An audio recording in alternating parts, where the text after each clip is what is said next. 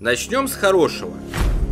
На фоне кризиса и сложностей, вопреки проблемам разного рода, силами энтузиастов и тружеников в России появляется современное перспективное производство. Компания Soulmash уже сейчас разрабатывает и проектирует не просто двигатели нового поколения, а целое производство по их созданию. В интернете ходили разоблачения и слухи, что это скам и подстава. Только вот в чем штука. За эти годы никто никуда не сбежал. Деньги инвесторов не украли. Компания существует, развивается, ведет разработки и собирает собирается выходить на новые горизонты. Если вы ищете возможность выгодно инвестировать накопления в реальный сектор российской экономики, присмотритесь к Sovelmash. Компания занимается разработкой энергоэффективных асинхронных электродвигателей на базе уникальной технологии «Славянка» в особой экономической зоне Технополис Москва. Правительство Москвы заинтересовано в данной технологии и выделило более двух гектаров земли, а Sovelmash создал уникальный строительный проект инжинирингового центра. Сегодня строительные работы уже идут к завершению. Инжиниринговый центр готов на 95% и в него закуплено все необходимое оборудование. Проект реализуется исключительно на деньги частных инвесторов, без привлечения государственных средств и денег олигархов. Вы можете изучить всю необходимую информацию о проекте по ссылке в описании, зарегистрироваться на сайте, инвестировать средства и в будущем стабильно получать дивиденды с успешных проектов передовой инжиниринговой компании многие годы. Друзья, привет! Как же тяжело заставить себя работать летом. Знаете, сидишь такой дома за компьютером, просматриваешь эти шизанутые ролики так называемых либералов, а на улице...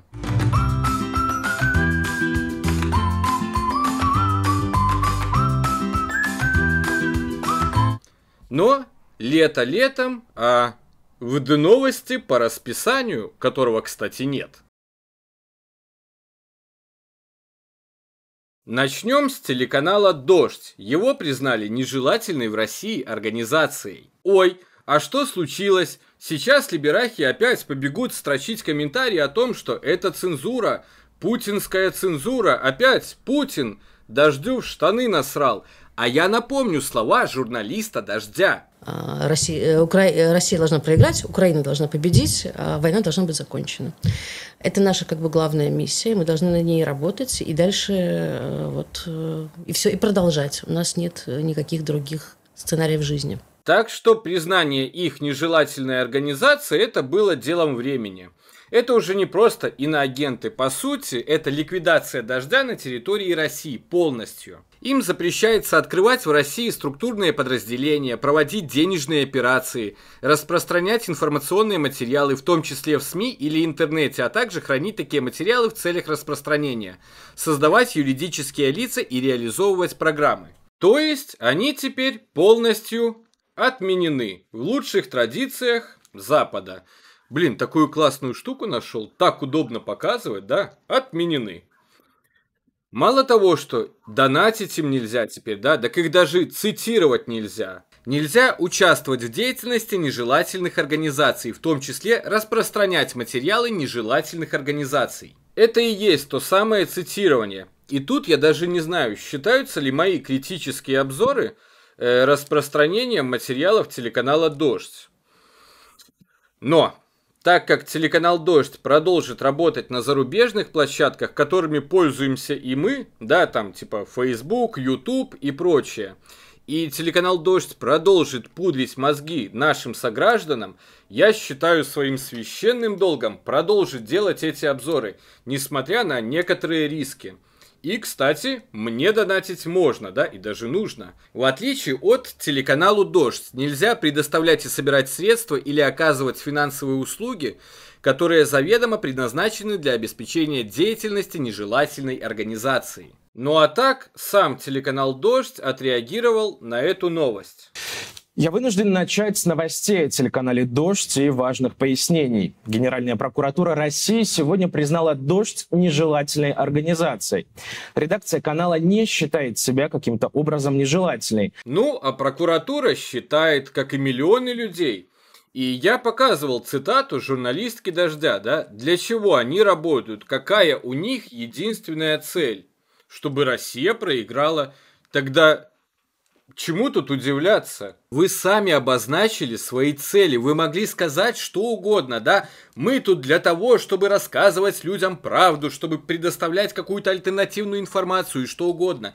Но нет же, журналистка четко сказала, наша главная и единственная цель, чтобы Россия проиграла. А потом, когда их признали нежелательной организацией в России, они такие, ну, мы не считаем, что мы тут нежелательные. Прикольно. Поэтому мы будем продолжать делать свою работу, как и прежде. И поэтому мне придется продолжать делать свою работу. Кто у нас главный разоблачитель дождя на Ютубе? И поэтому я, несмотря на риски, буду и дальше разоблачать вашу ложь, буду дальше смеяться над вами и... И хватит. И даже сейчас я хотел сделать ВД новости – но не удержался и, получается, делаю видео о телеканале «Дождь». При этом безопасность наших зрителей главная для нас, а потому мы отключаем сбор донатов из России, отменяем уже существующие подписки от россиян и призываем вас не делиться ссылками на наши материалы, если вы проживаете в России. А тут молодцы. Правда, скорее всего, сами платформы по сбору денег вас шикнули.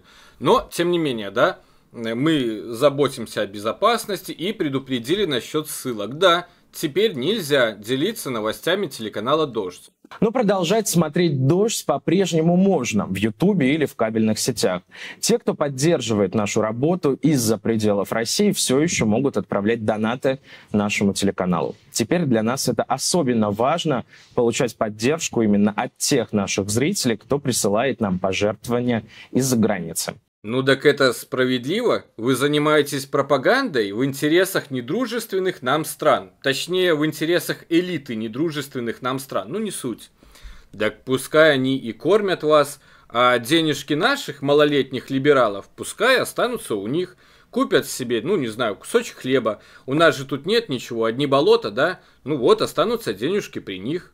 Сейчас я хочу подключить к нашему эфиру главного редактора телеканала «Дождь» Тихона Дзитко. Тиша, привет еще раз. Скажи, пожалуйста, что означает это решение Генпрокуратуры для телеканала «Дождь» и для зрителей? Тиша, что это означает? И Тиша, в лучших традициях телеканала «Дождь» Путину...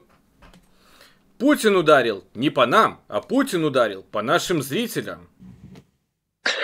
Я хотел сказать, что очень важно в твоем э, вопросе завершающая часть. Что это означает для зрителей?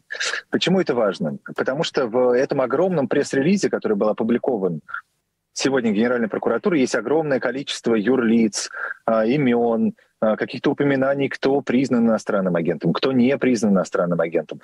Но в этом пресс-релизе нет самого важного. В этом пресс-релизе не упоминаются зрители телеканала «Дождь».